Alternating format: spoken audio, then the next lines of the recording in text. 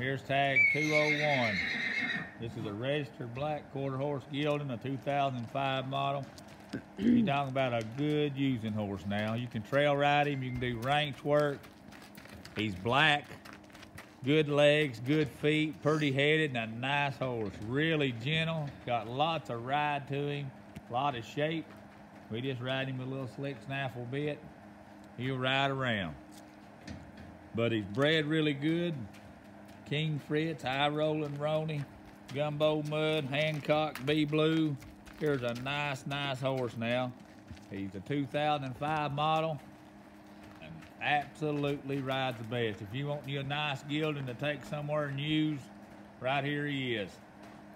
Price on him's 1500 Like I say, he's got two or three shoes on. You can ride him one-handed. See if he backs up. But like I say, we just got a little snaffle on him. Oh yeah.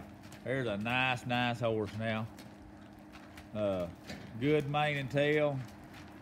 As far as I can tell, there's absolutely nothing wrong. There's the kind everybody wants. 1500 bucks. Papers in hand. There'll be a picture in the comments.